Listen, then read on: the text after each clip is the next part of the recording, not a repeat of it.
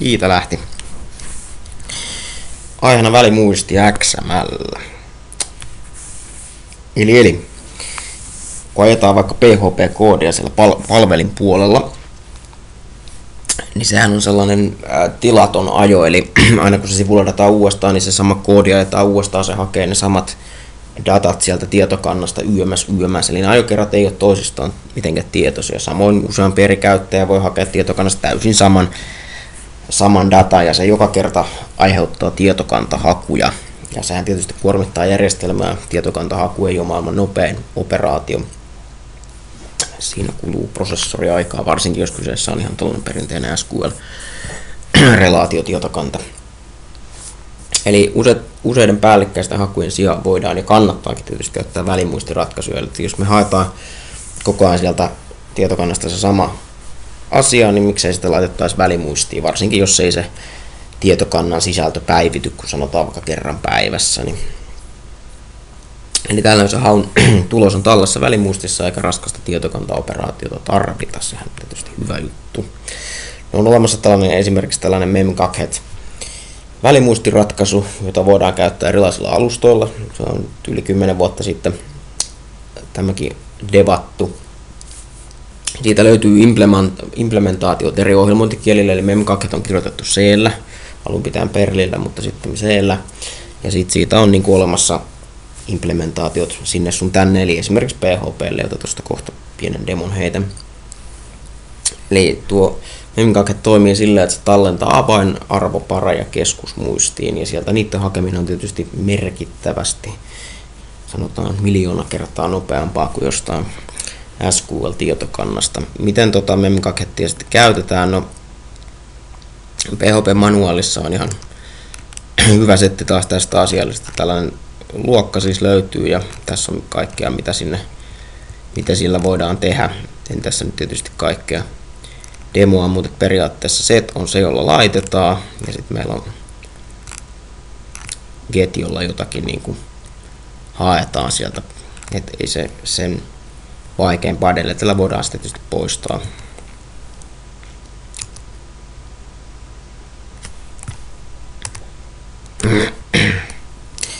Joo, niin, no joo, siis manuaali oli siellä ja tosiaan ei tule missään defaulttina asennuksessa valmiiksi, eli jos on omaa serveriä pyörittelee localhostissa, niin täytyy asentaa se itse systeemi ja sitten sille toi PHP palikka siihen väliin, eli PHP 5 memkaket ja memkaket on ne paketit, mitkä pitää asentaa. Tämä sama toimii kyllä tuolla Cloud 9, eli sinnekin voi Cloud 9 sinne terminaaliin heittää tuon ihan saman rimpsun, niin se asentaa käyttöön ne kyseiset paketit. Ja tässä on nyt tällainen lyhyt koodi, missä me luodaan, luodaan tota, tuosta luokasta olio, kytketään se tuohon niin localhostiin, sitten haetaan, haetaan siltä oliolta, että löytyykö sieltä jotain tiettyä avainta. Jos, sitä ei, jos se löytyy, eli saatiin jonkunnäköinen tulos, niin silloin me voidaan käyttää sitä tulosta. Eli tässä tapauksessa nyt vaan printataan se ruudulle. Muussa tapauksessa sitä ei ollut siellä välimuistissa vielä, eli silloin me asetetaan se sinne välimuistiin. Ja tietysti ihan nyt tietysti käytännön juttuna tässä nyt, että välimuistissahan ei voi säilyä sitä tavaraa loppumattomasti. Siinähän ei ole mitään järkeä, että sehän on vain väli aikaiselle muistille tarkoitettu. Eli jos me väliä, välimuistissa säilyttäisiin tavaraa pitkään, niin Facebookissahan olisi vieläkin vuosia vanhoja statuspäivityksiä. Facebookihan elää koko ajan, joten se välimuistitus on sitten hyvin nopeata. Mutta toisaalta, jos meillä on nyt joku ruokalista, joka vaihtuu että ehkä kerran päivässä, niin ihan hyvinhän me voidaan silloin laittaa vaikka tuota kuusi tuntia siihen välimuistitus. Ja se, kuinka kauan se välimuistissa säilyy tuossa memkakessa se data, niin se voidaan määrittää tuolla kolmannella parametrilla, eli tässä tapauksessa 5 minuuttia säilytään. Tuota. Katsotaan tästä esimerkkiä, eli apinoidaan tuosta tuo koodi. Mä tein tänne nyt tähän valikkoon tuota XML-kohdan, tänne alle tarinoin nyt vähän enemmän sitten. Eli täällä on nyt, tänne on nyt lisätty tuota XML ja päästään tähän tiedostoon, joka nyt on tyhjä. Lisätään tämä koodi suoraan sinne, niin päästään katsomaan mitä, mitä saadaan aikaiseksi. Eli nyt, nyt ladataan tämä uudestaan tämä XML-sivu. Eli nyt sieltä välimuistista ei löytynyt yhtään mitään. Sitten painetaan uudestaan tuosta XML-linkkiä. Nyt sieltä löytyy. Painetaan taas uudestaan. Nyt se löytyy koko ajan. Eli se Tämä yksi lause on nyt tuota laitettu välimuistiin, sitä ei tarvitse tota, enää hakea mistään, tässä generoida. Eli käytännössähän tämä toimisi nyt sillä tavalla, että tässä, tässä kohtaa me tehdään nyt se tietokantahaku ja tallennetaan se jonnekin. Ja sitten tota, voidaan tuossa aina se hakea sieltä välimuistista ja näyttää ruudulla. Näinhän se toimii. Ei se sen monimutkaisempia, jos tonne nyt sitten laitetaan tota 10 sekuntia voimassa toi kolme sekuntia voimassa. Katsotaan onnistuuko tämä. Eli nyt se on tuolla kakutettuna. Eli siis kohta sen pitäisi lähteä sieltä pois, jos se nyt on vaan sen kolme sekuntia siellä. En tiedä onnistuuko. Ei onnistunut. Olisi voinut onnistua. En onnistunut. No, kuitenkin näin se funkeeraa. Hieno demo. Tähän liittyy sitten heti seuraava aihe. Eli, eli, eli, eli niin tuon käytiin. Eli sitten kun XML-dataa parsitaan tai parsitaan mitä tahansa, me haetaan jostain kolmannen osapuolen järjestelmästä. Haetaan me sieltä nyt ruokalistaa, säätietoja, valuuttakursseja. Niin se on aina, se haetaan verkon yli. Ja se, se tietysti kuluttaa aikaa, resursseja, niin silloin se kannattaa se data säilöä omaa välimuistiin tai paikalliseen tietokantaan, riippuen nyt minkä näköistä dataa missä määrin ja sen sellaista. Ja tota, tosiaan nämä palvelut, apit tarjoaa dataa XML ja tai JSON muodossa. No JSON me ollaan törmätty jo aiemmin. Katsotaan vähän miten toi PHP toimii tuon XML kanssa. Eli sieltähän löytyy ne JSON decode encode metodit, mutta XMLllekin löytyy, eli Simple XML Load File funktio on olemassa, eli se tota, lataa jotakin XML-dokumenttia ja tekee siitä olion. Eli tuossa meillä on jonkunnäköinen XML, sitten siitä tehdään tuolla XML-olio, jota voidaan sitten tota, käsitellä. Täältä löytyy aika kattava tällainen hyvä esimerkki, jossa meillä on tässä olemassa tällainen XML-fiidi, tuossa stringissä ja sitten sitä stringiä lähdetään tota lukemaan, eli käytetään tota parsitaan siitä nyt kaiken näköisiä juttuja täällä sitten läpi. No, eli tässä nyt se tehdään, tota, tehdään tuon luokan kautta, mutta me, kun me nyt lähdetään hakemaan ulkoista resurssia, niin tuo ajaa asiaan tämä, tämä funktio. Eli se muuntaa sen XML-sisältöisen tiedoston, se voi olla siis joku nettiresurssikin, sisällön olioksi, ja sitten sitä dataa voidaan käsitellä sen olion kautta. Tietysti XML-datassa voi olla tota, ää, attribuutteja, no niihin päästään sitten attributes-metodin kautta käsiksi. Eli etsitään ensin nyt jonkunnäköinen datalähde, ja tuo valuuttakurssihan voisi olla nyt ihan sellainen vaiht, ihan tota niin kuin hyvää, eli Euroopan keskuspankilta löytyisi löytyisiköhän tuosta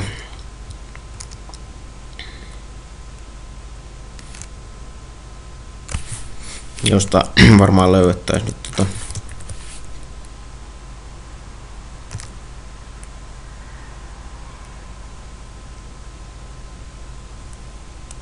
no, nyt päästiin aika lähelle.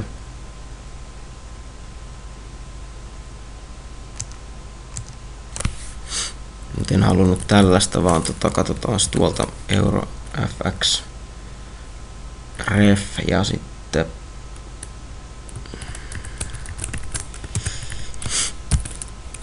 saadaan niinku sellainen daily.xml. Nyt jos ei hirveästi typottu. Niin. No niin, eli tässä on nyt siis euron kurssi tänään, no itse asiassa näköjään eilen, tämän päivän tiedosto ei ole vielä tullut.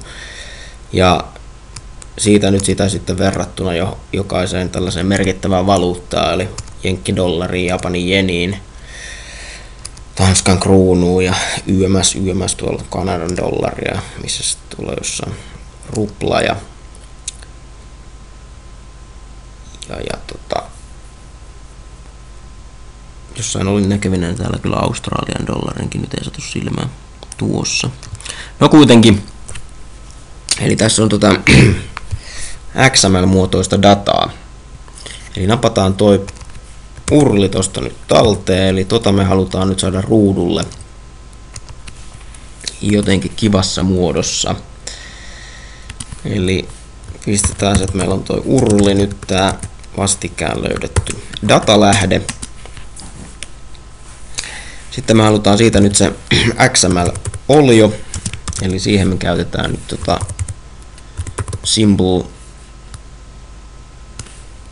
XML load file ja sinne annetaan toi urli. Eli nyt me pystytään sen jälkeen tulostaa toi XML-olio tuohon ruudulle. Katsotaan. No niin, sieltä tuli meidän data. Eli sieltä löytyy olio. Nyt me päästään sitten siihen olion arvoihin käsiksi ihan miten halutaan. Eli kun siellä nyt on aika monta niitä,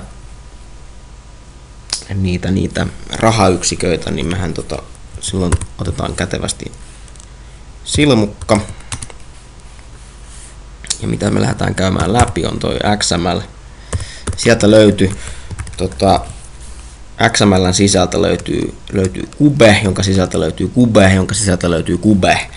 On tota aika mielenkiintoinen juttu, mutta näin ovat päättäneet tehdä, joten lähdetään käymään niitä kaksi ulommaista kubea läpi ja sitten tota, sieltä saadaan sen jälkeen aikaiseksi sellainen yksi kube, jota nyt sitten voidaan lähteä tulostelemaan läpi tuohon ruudulle. Eli pistetään ensin rivin vaihto, jotta saadaan jokainen niistä valuuttakursseista omalle rivilleen. Kivasti voitaisiin tietysti laittaa no laitetaan sitten asiassa kuitenkin tehdään niin, että laitetaan tehdään tästä lista ja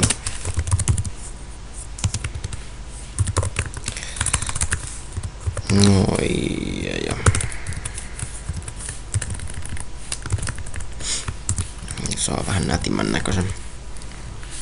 No nyt sieltä löytyy siis, sit sieltä sisältä löytyy yksi kube, ja mitä sieltä kuben sisältä löytyy? No sieltä löytyy siis tämmönen näin, eli täältä löytyy currency-attribuutti ja rate-attribuutti, eli ni, ni, niitä me halutaan nyt tulostaa tuohon ruudulle, eli meiltä löytyy toi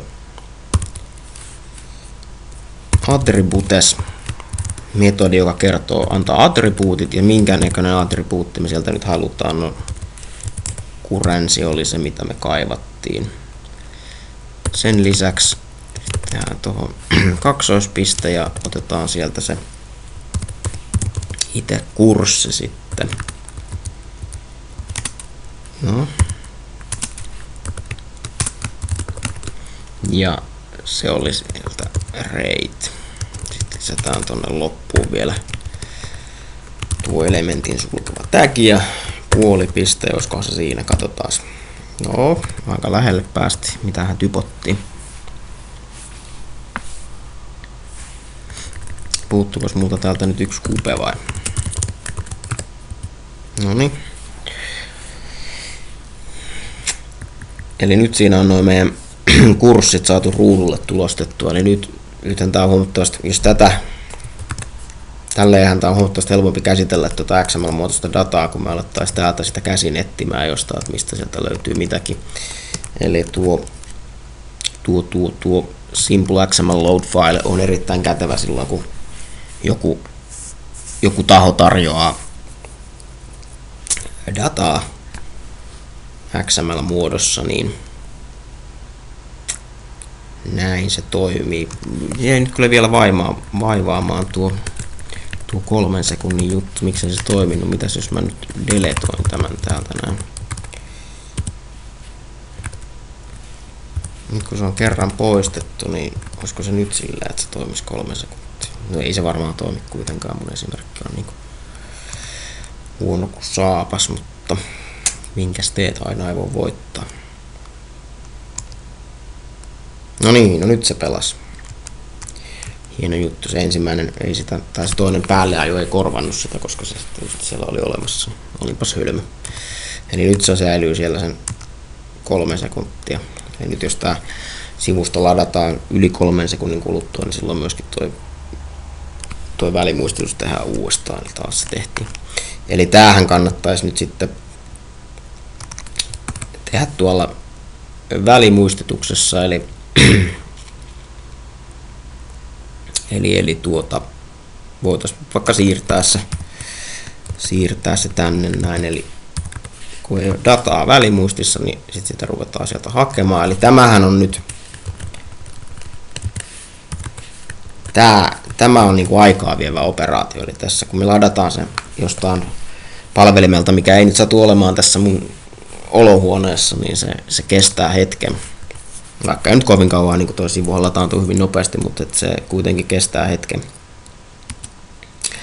Eli lisätään tuo tuonne ja, ja, ja tota,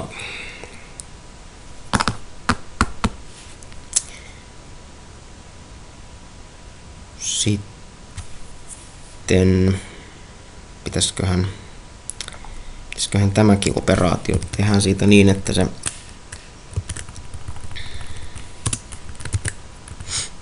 Eli tehdään tuossa text-muuttuja. Se on aluksi tyhjä. Ja sitten siihen text-muuttujaan lisätään aina toi uusi rivi. Sitten tota, ruvetaan säilömään tätä, eli tämä on nyt nimeltään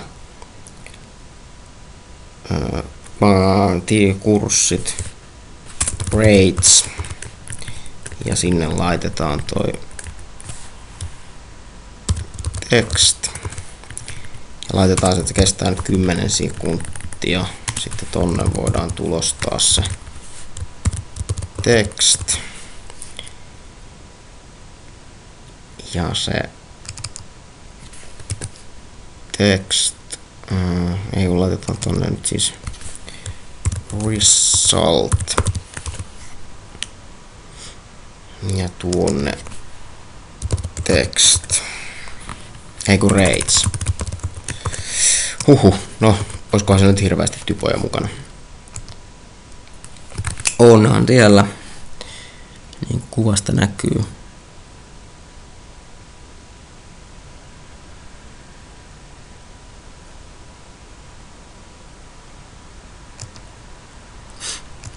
Mm.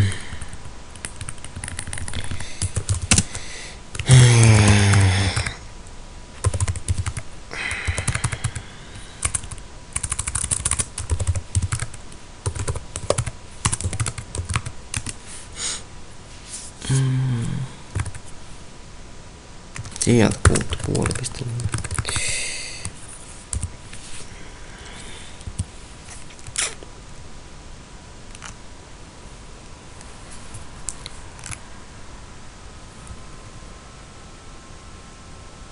Hmm. Mitäs tää tulee nyt kahteen kertaan tänne? Mitä minä jätin tänne koodiin?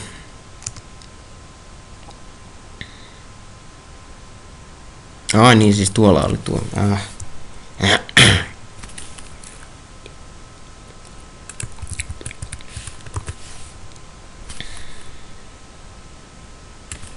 Mitä tätä voidaan nyt vähän sen muokata, eli jos tota, toi palauttaa tyhjän, niin sit sitä ei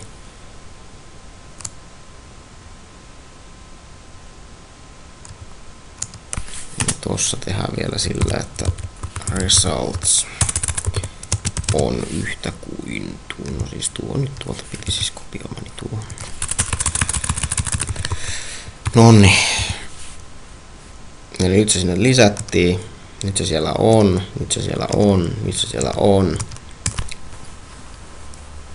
laitoin siihen nyt sen ajaksi siis 10 sekuntia, eli 10 sekunnin päästä sitä ei siellä enää ole, joten se ladataan uudestaan. Noin, nyt se taas ladattiin sinne uudestaan. Siis tämähän nyt, kun tämä tiedosto itsessään näköjään päivittyy ilmeisesti kerran päivässä, joten me voidaan hyvin laittaa tänne tota, vaikka 24, 24 tuntia kestämään tuo on niin periaatteessa. Mutta joo, tää oli tämmönen. Tässä käytiin nyt sit läpi, että mitä, mitä tuota välimuistitus XML-datan parsiminen, eli näillä päästiin eteenpäin tällä kertaa.